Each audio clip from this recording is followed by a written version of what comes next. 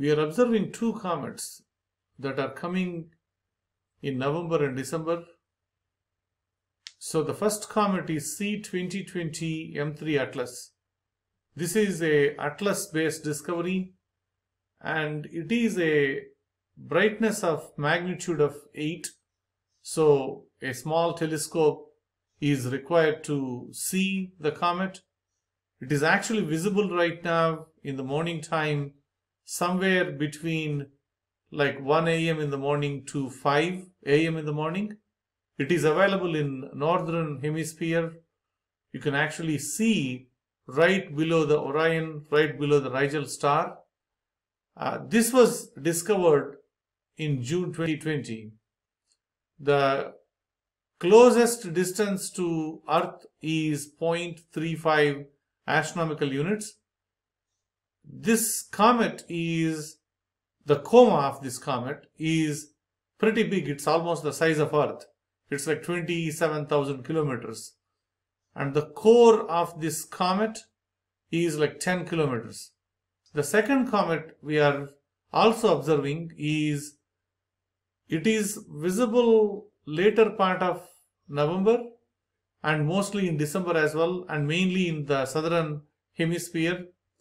But this one might get a bit more brighter than Atlas comet, the 2020 M3. So this one may go up to like 6.5. So a binoculars may be able to resolve this comet. It is discovered in September 2020 and the close distance to Earth is around 1 AU and uh, the coma is actually much bigger than the Atlas comet. It is almost like a double the size of the Atlas comet and the core is actually the same. It's almost like a 10 kilometer size. The initial observation shows the coma looks like the same as the coma of the Comet 46P, the Comet 46P Wirtanen, the Christmas comet that we observed last year. They, these two comets almost looks very similar. They don't have tail. We did not observe the tail yet, but they do have coma, like the green hue around the comet. So in the night time or early morning, somewhere between 1 and 5 o'clock, right below the Orion constellation or next to it, right below the Rigel, you will see this comet.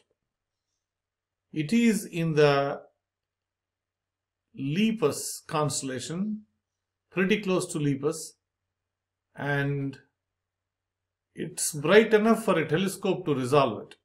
It's like in the magnitude of 8. Let's talk about the comet C 2020 Erasmus comet. This one is going to get a lot brighter as it is getting closer to the sun.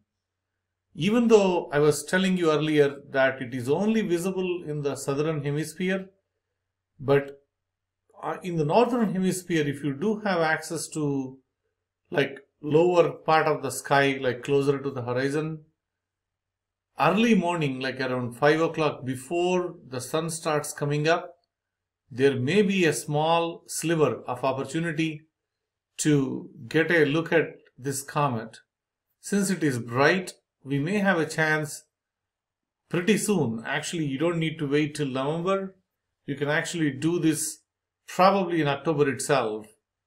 Uh, starting today for the next couple of weeks, you should be still able to take this one.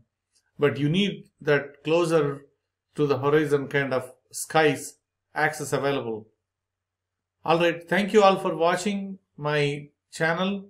If you are interested in astronomy videos, uh, deep space objects pictures, uh, and uh, more tutorials, please feel free to subscribe to my channel. Thanks for watching.